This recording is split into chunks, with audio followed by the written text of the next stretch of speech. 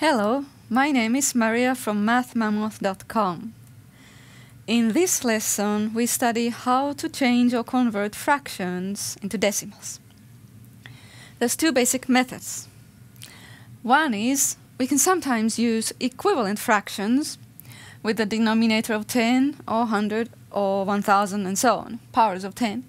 And the other method is just to use division, either long division or using a calculator. Let me show you first examples of the first method which sometimes works. And that is, for example, 7 over 25. I can write an equivalent fraction with a denominator of 100 because 25 goes evenly to 100, right? 25 times 4 is 100, so 7 times 4 goes here, 28. And now, of course, we can write this as a decimal. 28 hundredths is 0.28. Here's another such kind. Now, 8, okay, let's say that I wrote here so many tenths.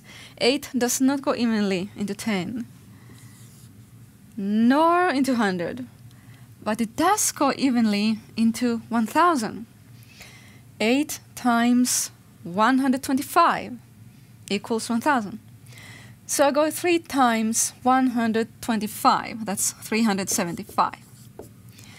And now that is, of course, 375 thousandths. We can write it as a decimal, 0.375. But most fractions are not this kind. For most fractions, we need to use the second method. We need to divide. And I'm going to even here show you two basic cases. The first case being that the decimal will end. And let's say I have 11 sixteenths. I'm going to write this as a decimal. And I'm going to use long division.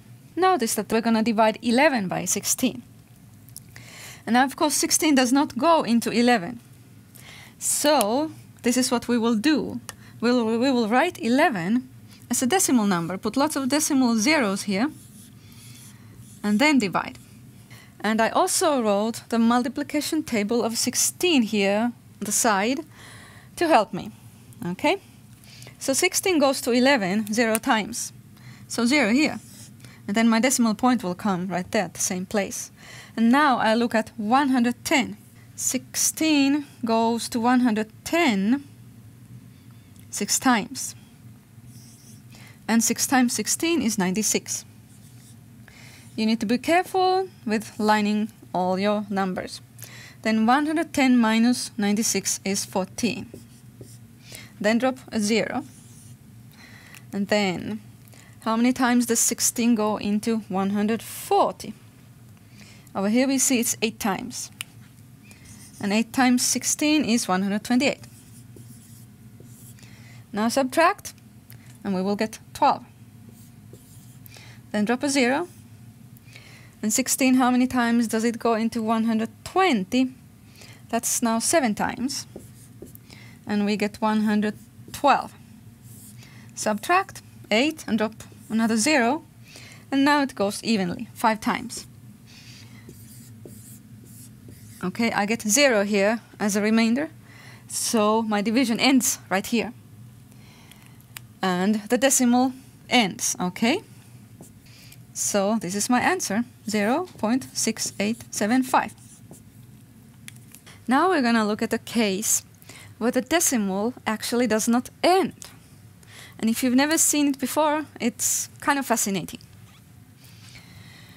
This time the decimal we get is unending. It's also going to be repeating. Some of its digits are going to repeat.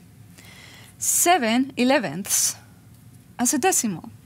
Okay, I will divide 7 divided by 11. So notice again, 7 goes inside this corner, and 11 here is the divisor. And we will put lots of decimal zeros here and then start dividing. 11 goes into 7 zero times. Then look at 70 here. 11 goes into 70 six times. 6 times 11, 66. And then 4. And we drop a 0. 11 goes into 40 three times. 3 times 11, 33. Subtract 7. Then another 0. 70, just like how I started. 11 goes into 76 times. I get 66. And 4, drop a 0. 11 goes into 40 three times. I get 33. Subtract 7, drop a 0. Now you notice that it starts repeating here, okay? I get 40, 33, 70, 66, those same numbers. 40, 33, 70, 66. And these are repeating here too. 6, 3, 6, 3. Now I know it's going to go 6, 3, 6, 3. It's going to repeat the 6, 3. And it's never going to end. I can see that here too, because it keeps repeating the same remainders. It's never going to give me a remainder of 0, okay? The way to write this here as a decimal is either this way, like I have it here, with three dots showing that it repeats, or like this, 0 0.63, and then draw a bar above those repeating digits. Let's try another one. 2 divided by 15, 2 fifteenths. Okay, again, notice that 2, the smaller number goes here, and 15 outside.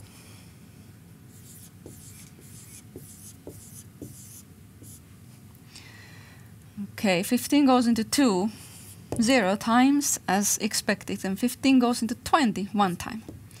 One time 15. We subtract, we get 5 and then 50. 15 goes into 50 three times. We get 45, subtract 5, drop a 0. 15 goes into 50 three times. Okay. I see now I'm not going to get anywhere. I'm just going to get this 5 always, and then 50 and 3 here. Okay? It is repeating. I always get 5 as my remainder. And these 3's here keep repeating. But notice, there was this digit here, 1, that is not repeated. It's only repeating the 3's. So when I write it here, I can write it this way, 0 0.13, and I write this bar above 3, because 3 repeats, but 1 does not. Now that you have seen decimals that are unending and repeating, sometimes, I need to tell you this, sometimes the repeating part may be 5 or 6 or 7 or 14 digits long. And so if you're using a calculator, you may actually not see it repeat, in which case you may need to just round your answer. And now that you've seen these unending decimals that repeat, the question then arises, would there be any decimals that are unending and that don't repeat? The answer is yes, there do exist such numbers. Such numbers are not fractions, okay? In other words, they are not rational numbers. Rational numbers are fractions. And these new kind of numbers are irrational numbers. One example of such number that you know about is number pi.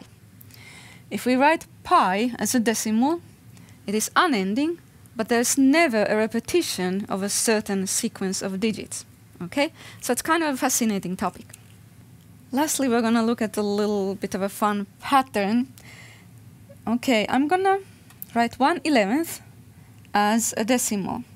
And then from that, can you guess these others? 1 eleventh. I just have to divide once again. 1 divided by 11. Let's see. 11 goes to 10 0 times, and 11 goes to 100 9 times. Then we get 99 here, and 1. Drop a 0. 11 goes into 10 0 times, so I drop another 0, and then it goes into 100 9 times. 99. 1. I see it's going to repeat. Now I have to again Put 0 here, it goes 0 times, drop another 0, and it goes 9 times, okay? Over here, this is 0 0.09. The repeating part is 0.9. Wanna guess what this one will be? Let me see if I can do that too. Running out of space, but 2 divided by 11. Okay, 11 goes into 20 one time. And then we get 11 subtract 90. 8 times 88, 2 and then 20. 1 time 11, subtract 90 and 8 times. Okay, So the repeating part here is 0 0.18, 18 repeats. Now I'm to leave it up to you to check these two, if you can guess what kind of repeating part they have. We're all done with this lesson.